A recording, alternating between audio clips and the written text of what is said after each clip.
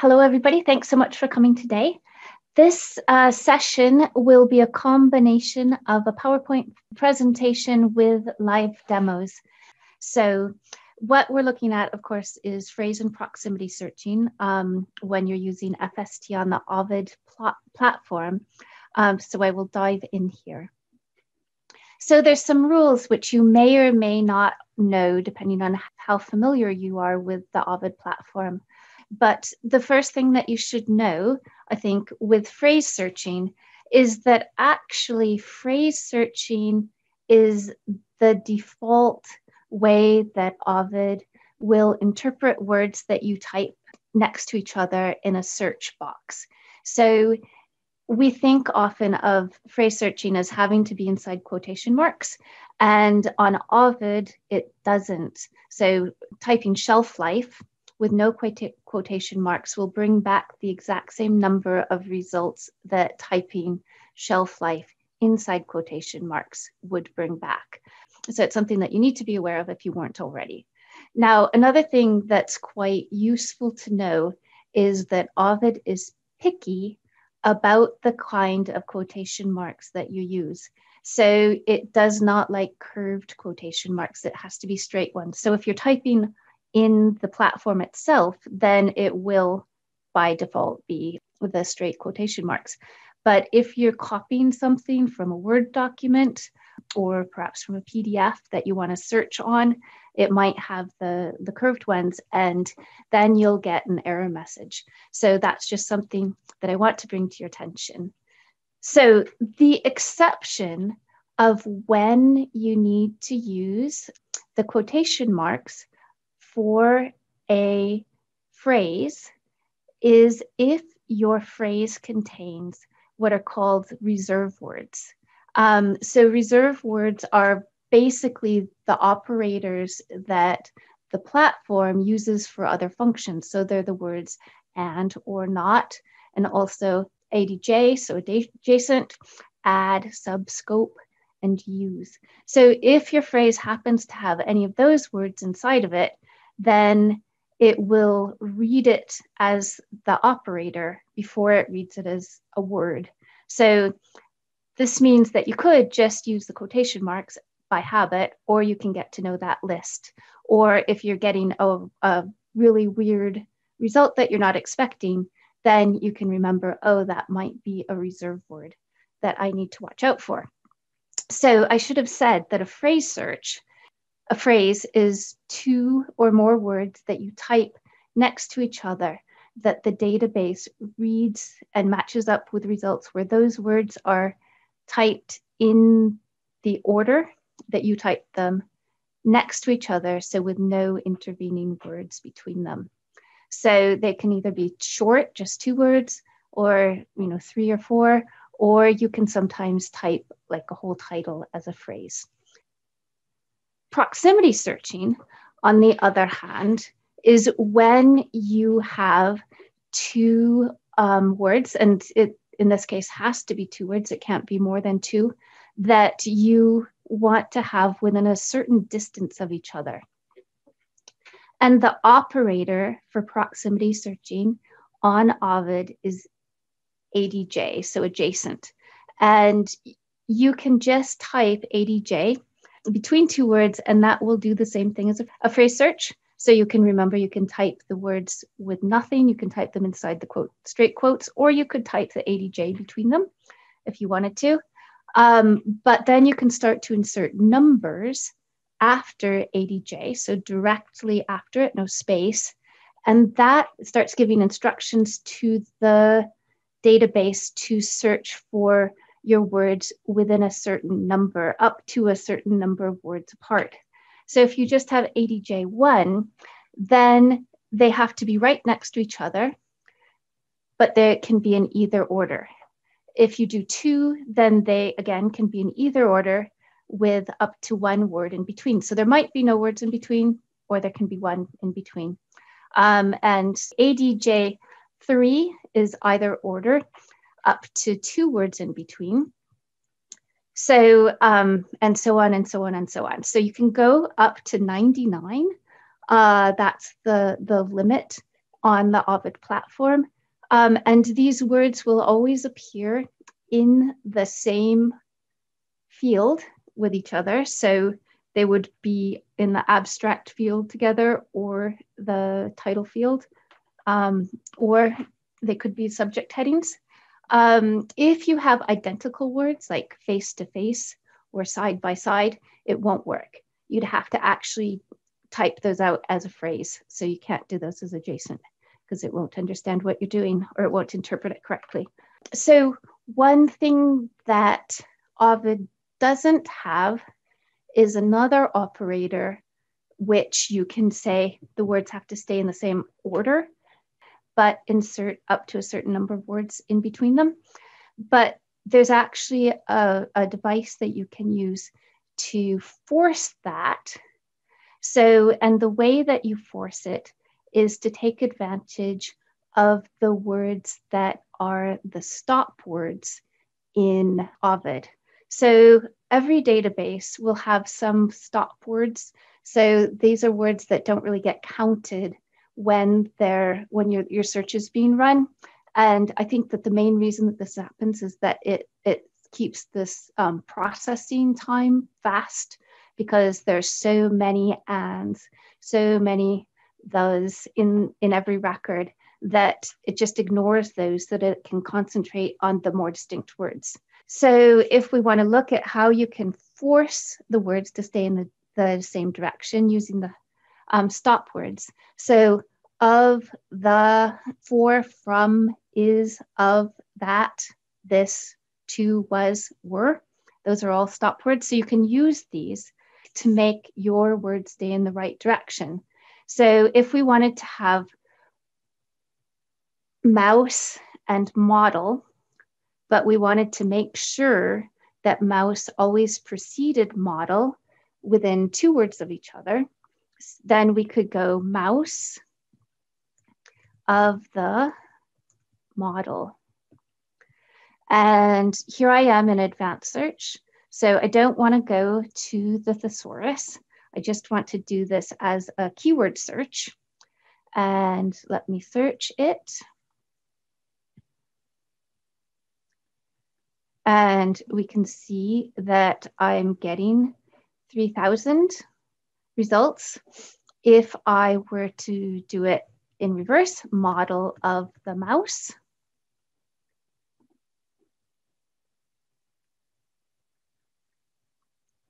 then I only get 78 results. Now to show you that these are keeping them in the same direction, so model is always in front of mouse here, and mouse is always in front of model on the first search, we can combine these as an ORs, OR search so that we've got them together. And that gives us 3,159 results but if I were to do that search as mouse ADJ3 model, then I get the exact same number and I know that I'm getting these in either direction. So this is just a trick that I want to share with you for how, if there's a reason why you really want to keep the words in the same direction, you can do that. Um, so you can also, if you want to, you can combine using phrase searching and proximity searching. So for instance, if we were thinking about cocoa butter substitutes, we may want to have cocoa butter as a phrase because that's quite a definite phrase but substitutes doesn't need to be attached to it as the phrase because you can think about it. It might be that you get good results about um, substitutes for cocoa butter instead of cocoa butter substitutes um, and things like that. So if we were to try that one, again, I'm going to stay here in advanced search. Cocoa butter and I'm remembering that I don't need to use quotation marks around that. And I can see substitutes. I'm going to truncate substi substitutes. So it's substitute or substitutes. Uh, one truncation that symbol that you can use in Ovid is the dollar sign. So I'm going to use that one. So this is actually going to get us the phrase.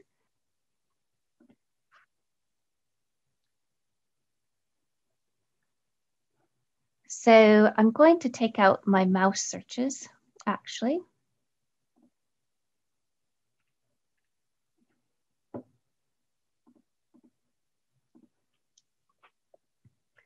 And so cocoa butter substitute truncated got me 399 results. And then if I do a search of cocoa butter adjacent five substitutes,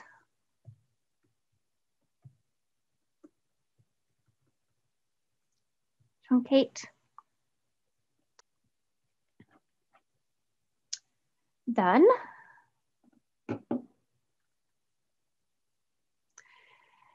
We get a slightly higher number.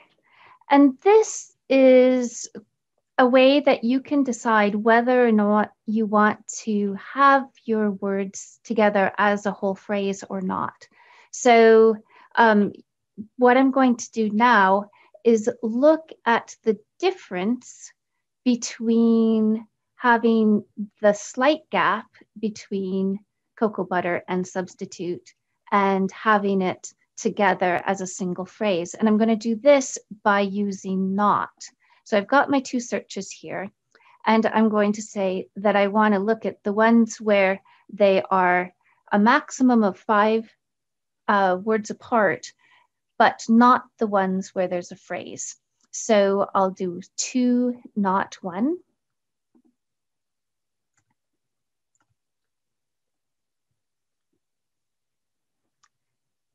And I get 65 results with that. And if I open them up, then I can start to see what kind of results I'm getting and start to make a judgment about whether that's going to be the search that I want to use or not.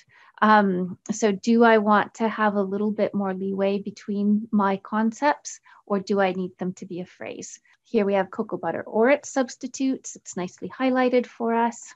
I'm not going to go through all the results, but you can see. So here we have cocoa butter, but then substitute fats. And this is where you have to start bringing in your own judgment, knowledge of your topic about what's relevant for you. So here we have the, the version where it's a substitute for cocoa butter and it's a particular kind of oil. So this may well be really useful for us.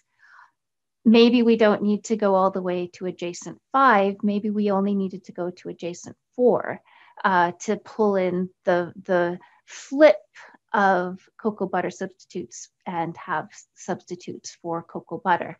But that's something that we would determine by looking at the results a little bit more one error that novice searchers make a lot is thinking that something should be a phrase that's not actually a phrase. So I'm going to go back here to my to my slideshow again and just think about different like there's there's it's a really common error that I've seen in the classroom where a student will say it should be meat quality. That's my phrase. And sometimes it's very easy to think, well, can I flip it as quality of meat? And if you can do that and it means the same thing, then obviously it doesn't need to be a phrase. There are some phrases that really are phrases. So, but you can always do a check of whether or not something is a phrase by doing a not search using some of these, one of these on the spectrum. So there's times when using an and search is actually the most appropriate option. And it can be an and search in an entire record. So the words can be in the title or the abstract. So one word maybe in the title and one in the abstract. Um, or you can always control an answer, an answer by keeping them in the same field.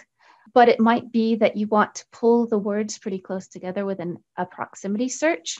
So, say that they have to be within five or six words, or maybe just four words or three words, depending on the words that you're dealing with. And then there are times when phrases are true phrases. So, like shelf life, both words together mean shelf life.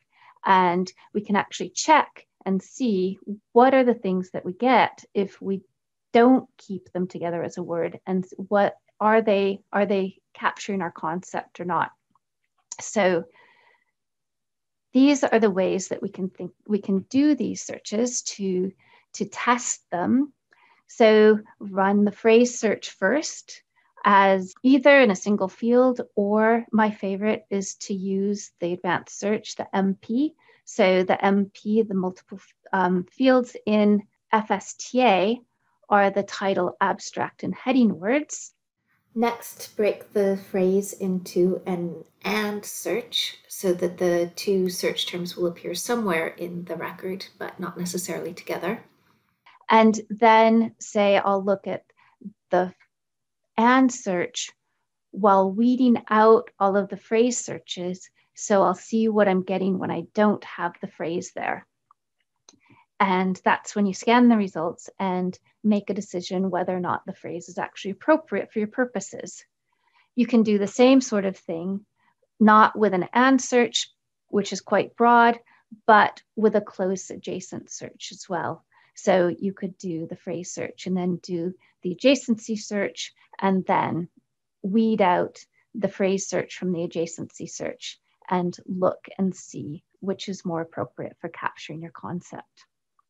And it's the kind of thing that with practice, and especially if you're using the same terminology for a lot of your searches, then you, you get to know your search terms. But if it's a new area and you're not sure, it's really quite easy to check to see what you're getting. And as I said earlier, with the number, you can go to 99. So that's very far away but there's a certain point, I think, where you might as well be using an and in the specific field rather than kind of arbitrarily designating 25 words apart or something. So, and again, the main way that you figure out where it's the sweet spot for your particular words is to do some experimentation.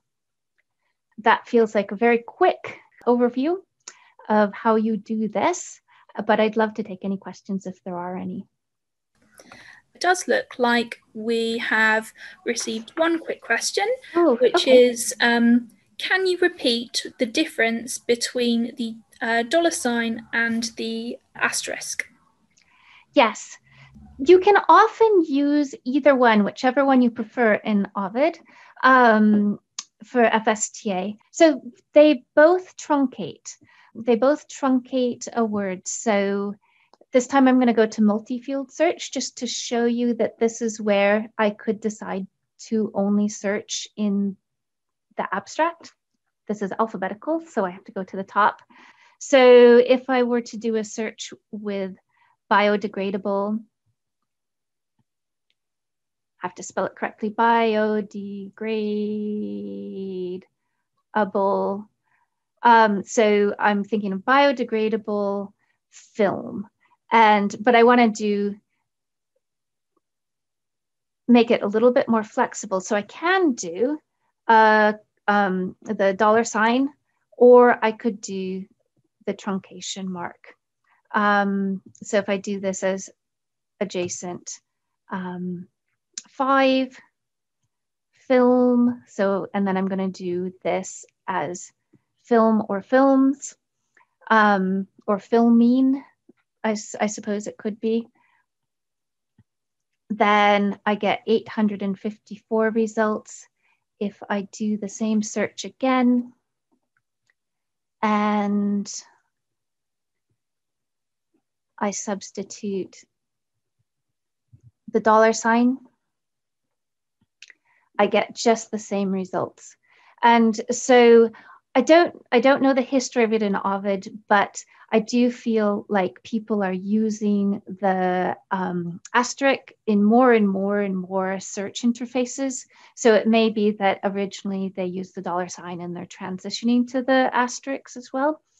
But I found myself that when I'm searching in the search fields, that I need to use the dollar sign and not the asterisk.